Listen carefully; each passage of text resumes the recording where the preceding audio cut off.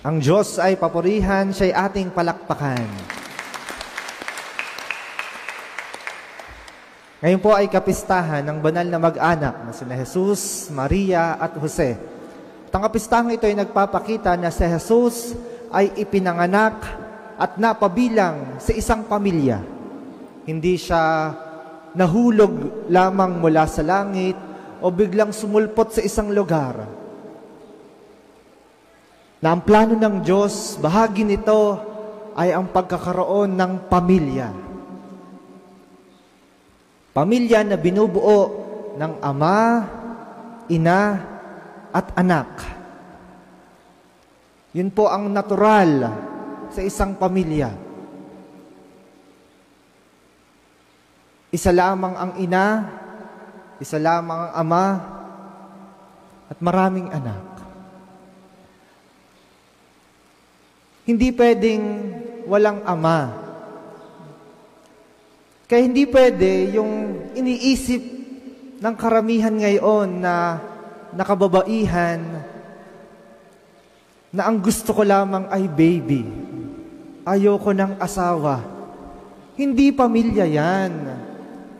Ibang usapan kapag may mag-asawa, namatay ng maaga yung asawa.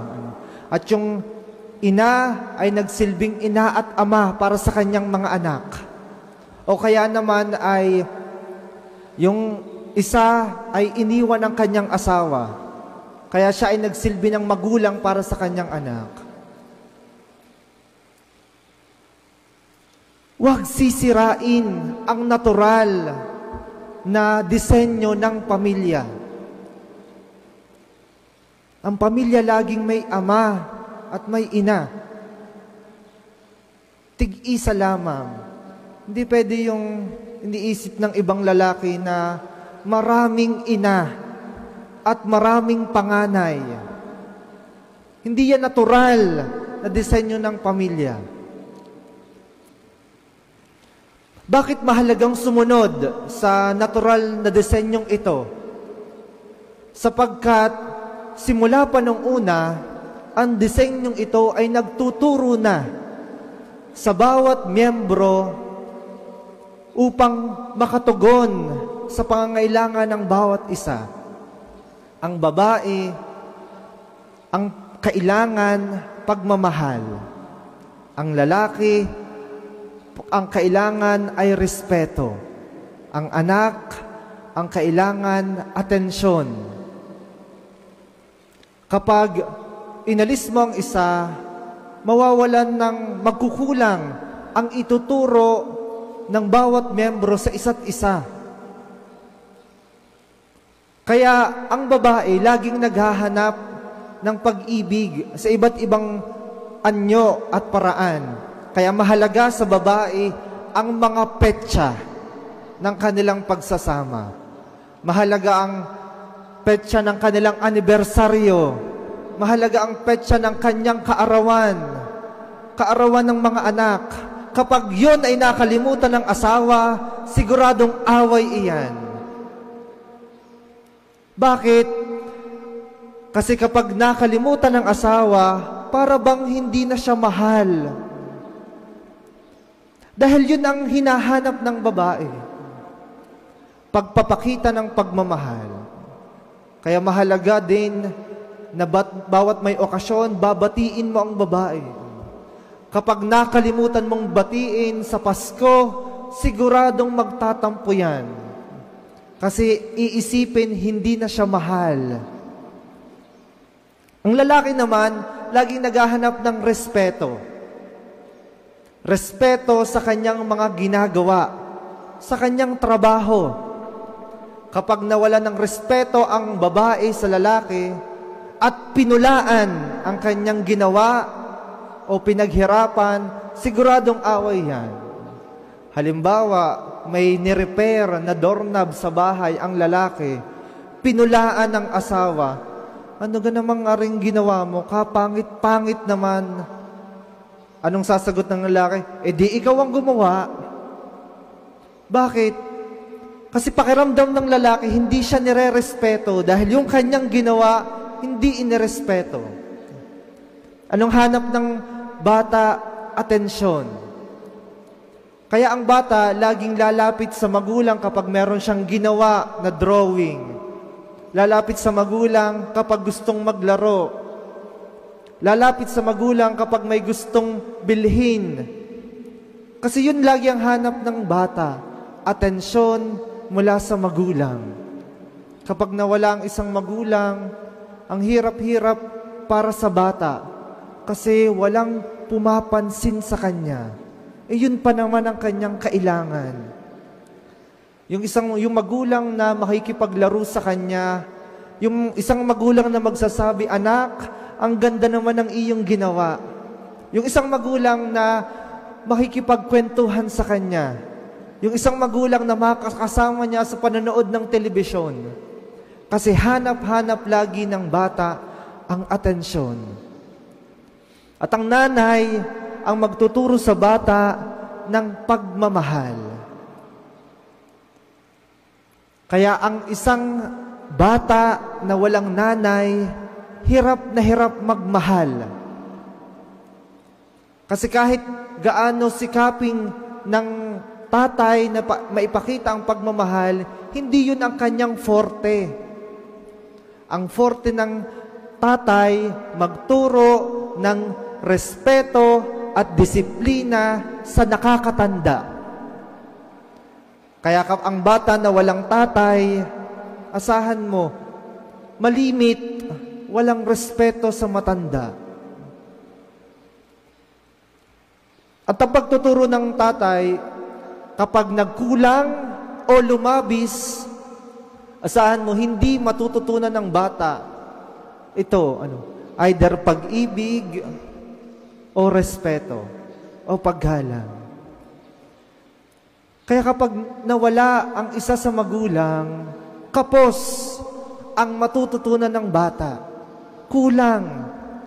Kahit gaano pilitin ng magulang na tumayong ama at ina ng bata, hindi pa rin yun sasapat. Kaya para sa mga kababaihan, na ang gusto'y baby lamang, huwag niyo nang ituloy iyan. Kasi kawawa ang bata. Kawawa ang inyong magiging anak. Kahit gaano kayo magtrabaho para sa inyong anak, kahit gaano nyo pagsumikapan na ipakita at puna ng pagkukulang, maghahanap at maghahanap yan ng Ama kasi maghahanap siya ng magtuturo sa kanya kung paano magtrabaho, kung paano magkaroon ng disiplina sa buhay, kung paano ituon ang atensyon sa kanyang ginagawa. Kailangan ng isang bata ang buong pamilya para siya ay lumaki na katulad ni Jesus na malakas, marunong, at kalugod-lugod sa paningin ng Diyos. Itong tatlo ang gampanin ng magulang. Palakihin ang kanilang mga anak na malakas, marunong, at kalugod-lugod sa Diyos. Akala ng ibang magulang, kailangan lang nilang palakihin ang kanilang mga anak ng malakas. Kaya ang iba, pinapakain lamang. Binibigyan kung anong gusto, kung ano ang hinihingi, pero mahalaga na palakihin din ang isip. Palakihin ang bata na marunong. Palakihin ang bata na may alam sa buhay. Palakihin ang bata na marunong rumespeto sa iba. Palakihin ang bata na marunong na gumalang sa nakakatanda. Para ang kanyang mamugulang kapag nakakalimot na, kapag paulit-ulit na ng kwento, kapag nag-iihi na sa salwal, igagalang, irerespeto pa din. Bakit? Kasi itong batang ito, marunong sa buhay. Maalam. Alam na ang magulang dapat ginagalang. Hindi dapat sinusuway. Hindi dapat binabastos. Hindi dapat dinadagdagan ang sakit na nararamdaman kapag tumatanda na. Meron pong isang video ako napanood sa, sa Facebook. Video ng isang matandang tatay at yung kanyang binatang anak. Nagpunta sila sa, sa isang park, ipinasyal ng anak yung kanyang tatay. Yung tatay nakakita ng ibon. Tinanong ng tatay, anong ibon iyon? Sinagot naman ng, ng bata, yun po ay Maya. Tapos may, may naglakad sila, nagtanong ulit yung bata, nakakita ulit ng ibon yung tatay. Tinanong ulit, anong ibon iyon? Tay, nasagot ko na po yan kanina. Maya po. Maya maya nakakita na naman ulit ang tatay. At nakailang ulit na pagtatanong, anong ibon iyon? Nagalit na itong anak. Tay, paulit-ulit na po kayo. Kanina ko pa po yan sinasagot. Maya nga po. Sa galit ng anak ay iniwan yung tatay sa parke at nagpalamig ng ulo. Tapos pagbalik nung anak, ibinigay nung tatay sa anak yung libro, ay yung isang notebook. Pagbuklat nung, nung notebook, may kaunting diary yung tatay, tas may drawing. Ngayong araw na ito, ipinasyali ko ang aking anak. Maliit pa yung kanyang anak sa parke. Nakakita siya ng ibon. At tuwang-tuwa ang aking anak dahil ngayon lamang siya na, nakakita ng ganong ibon. Kaya naman, paulit-ulit siyang nagtanong sa akin. At paulit-ulit ko siyang sinagot. Kasi kita ko ang kanyang kasiyahan. At sa bawat pagsagot ko, kita kong tuwang-tuwa siya. Tapos napaiyak yung anak nung binabasa yung diary ng kanyang ama. Kasi noong bata siya, siya ay pinagpasensyahan. Inintindi nung ama.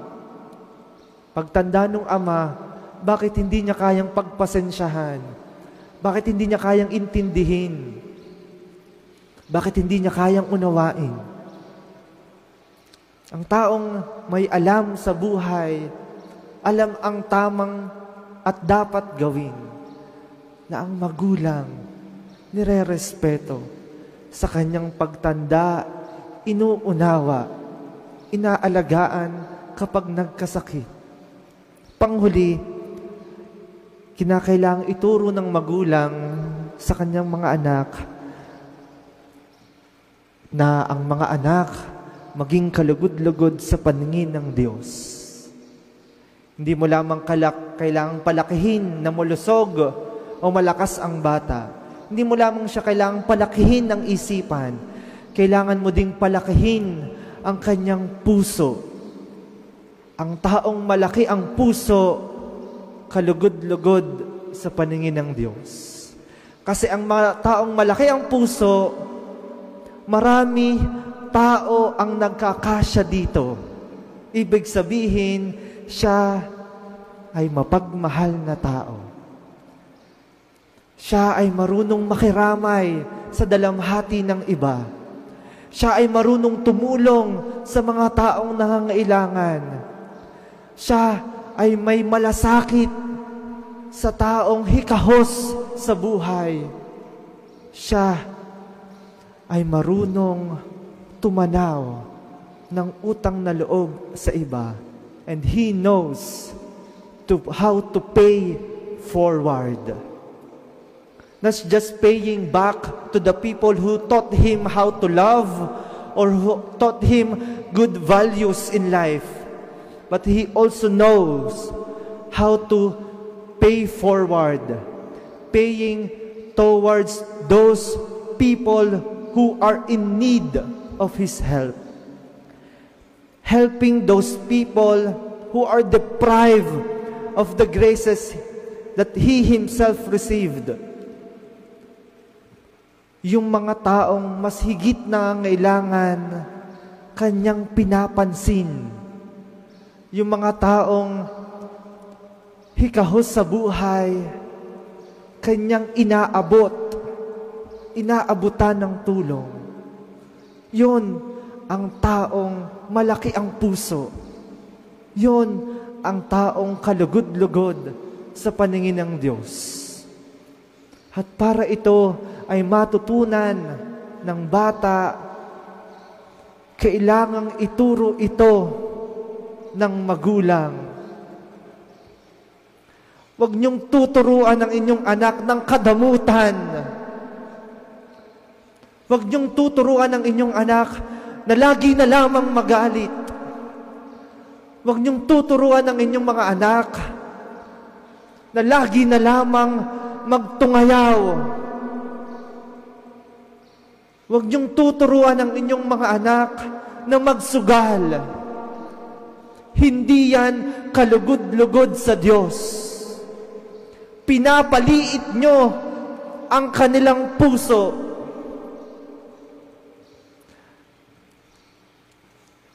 Nagiging irresponsable kayong magulang kapag katawan lamang ang inyong pinapalaki.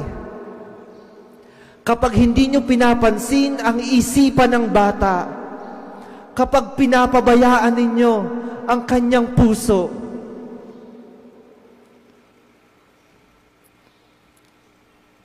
ang banal na mag-anak na sina Jesus, Maria at Jose, pinagtuunan ng pansin na palakin si Jesus na maging malakas, maging malusog, maging matipuno. Pero hindi lamang yon. Pinagtunan din nila ng pansin na turuan si Jesus ng magagandang bagay. Palakihin, siguraduhin na si Jesus lumaking may alam sa buhay. At masiguradong si Jesus may malaking puso dahil hindi lamang dalawa, hindi lamang tatlo ang kanyang ililigtas. Ililigtas niya ang buong mundo, ang lahat ng sangkatauhan. Kaya naman sinigurado ni na Jose at Maria na napakalaki ng puso ni Jesus. Kapag nasigurado nyo na ang inyong anak lalaking malakas, marunong, at kalugod-lugod sa Diyos, ibig sabihin, kaya nyo pong makagawa at makalikha ng isang banal na pamilya. Pamilya na katulad ni Jesus, Maria, at Jose. Palakpakan ng Diyos sa panay.